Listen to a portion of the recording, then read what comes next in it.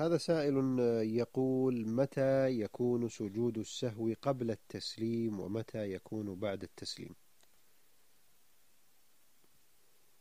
الثابت عنه عليه الصلاة والسلام أنه سلم عن ركعتين كما في حديث أبي هريرة في قصة ذي اليدين ثم بعد أن سلم ونبه وجاء بهما سلم آه، سجد للسهو بعد السلام.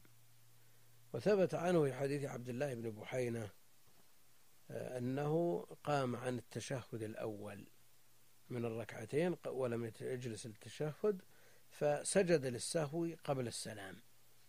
مما جعل بعض أهل العلم يرى أن سجود السهو إذا كان لزيادة فيكون بعد السلام وإن كان لنقص فإنه يكون قبل السلام.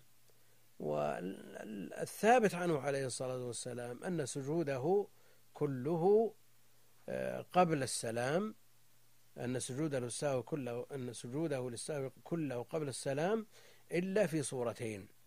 الصورة الأولى إذا سلم عن نقص ثم أتى بما نقص كما في قصة ذي اليدين أو بنى على غالب ظنه أو بنى على غالب ظنه فإنه حينئذ يسجد للسهو بعد السلام.